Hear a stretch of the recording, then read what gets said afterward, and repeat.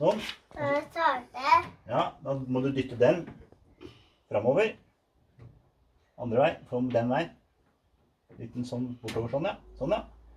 Og så trykker du den inn så hardt du klarer. Trykk inn.